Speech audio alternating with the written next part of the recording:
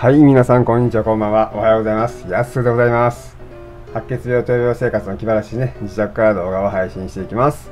でこの動画でね、僕みたいに白血病がんになってしまったたくさんの患者さん、そしてそのご家族、お友達が元気になってもらいますように頑張っていきます。そして皆さん、この動画配信をきっかけにですね、ぜひ、献血骨髄バンクにご協力ください。皆様の血液が必要です。日本全国世界中で YouTube を見ている皆様、どうぞよろしくお願いします。そしてね、よりたくさんの方々に献血骨髄バンクを知ってもらうために皆様にもやっていただきたいものすごく簡単なことがあります。それはグッドボタンとチャンネル登録を押してもらうことです。それをするだけで、あとは YouTube を運営している Google になる AI がよりたくさんの方々にこのやすのチャンネルを勝手に表示してくれます。ものすごく簡単な方法なので、ぜひよろしくお願いします。はい。あ、今日はちょっと頭が切れてる？これぐらい？これぐらいですね。はい。えー、っとですね、まあ、新しい薬をゲットしました。まあ、ゲットっていうよりも、まあ、使ってみる？みたいな感じで、ちょっとチャラい感じに進められたんですよね。まあ、でも内容を聞いたら、細胞を回復してくれる薬で、ドライアイに効果があるから、と、まあ、説明してくれたんで、まあ、半信半疑で使うことにしました。真っ白なね、液体なので、まあ、刺した瞬間から、まあ、5分ぐらいは、まあ、視界が真っ白というか、まあ、すりガラスを覗いてるような見え方になりましたね。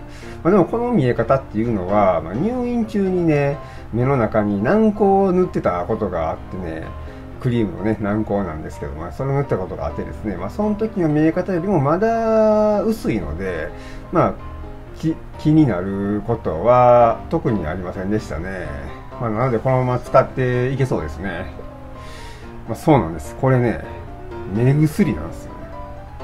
まあこれでドライアイが回復すればいいんですけども、まあ、そもそもそのドライアイの原因っていうのはね、まあ、目の GVHD なんでね、まあ、その GVHD さえ出なくなれば、まあ、いいんですけども、まあ、そもそも、まあ、またそのそもそもなんですけども、まあ、GVHD を抑えるには、まあ、免疫抑制剤などステロイドなどをね、使わなければ、まあ、抑えるもんも抑えれないようなので、まだまだ治療が続いていきます。